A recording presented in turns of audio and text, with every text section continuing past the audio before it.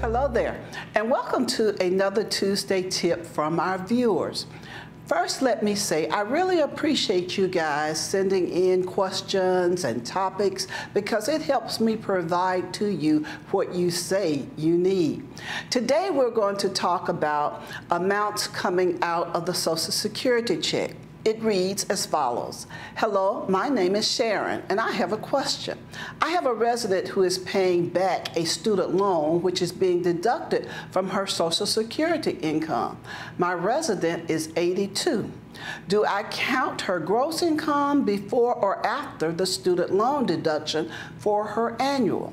Your help is greatly appreciated. Sharon.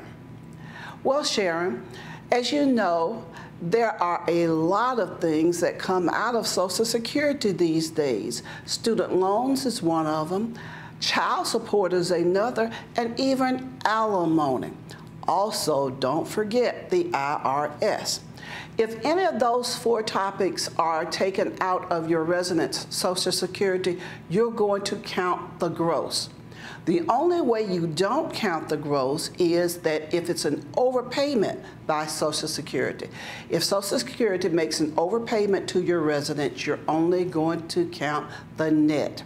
It's unfortunate that at 82 years old, she has a student loan coming out of her Social Security. Perhaps she signed for a grandchild and they're in default on the loan. But yes, all four of those people, the IRS, the student loans, child support, and alimony, can come out of the Social Security check. Another, hi Vickie, Ella here. Do you know when the income limits for 2020 will be posted? Well, Ella, I don't. I looked out there for them yesterday myself. It was April of 2019 that the 2019 income limits came out. So let's just hope that the 2020 will be out soon, hopefully by April.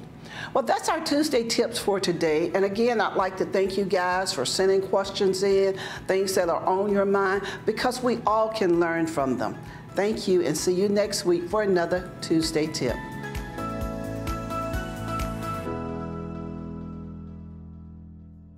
Did you like this video? Hit the like button below.